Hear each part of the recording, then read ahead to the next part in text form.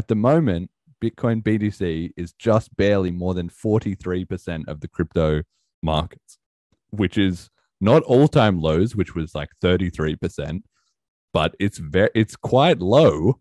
And typically, when crypto goes into a bear market and everything uh, collapses, more of the money flows from the smaller coins back into Bitcoin because it's perceived as the safe hedge. And at least in the past, maybe less now, but in the past, you usually you the you couldn't trade a lot of the coins against fiat currencies or against stable coins either. So you would have to sell your ones into Bitcoin and then from Bitcoin into your US dollars or into your um, you know Australian dollars or into your bank account or whatever.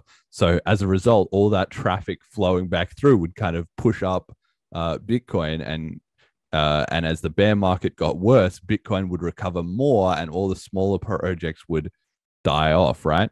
But what we've seen is with each cycle, because Bitcoin has not expanded as a payment system, it hasn't gained any more sort of real world traction, just more speculation. Uh, the market and the investment and the innovation and stuff has just started flowing around it.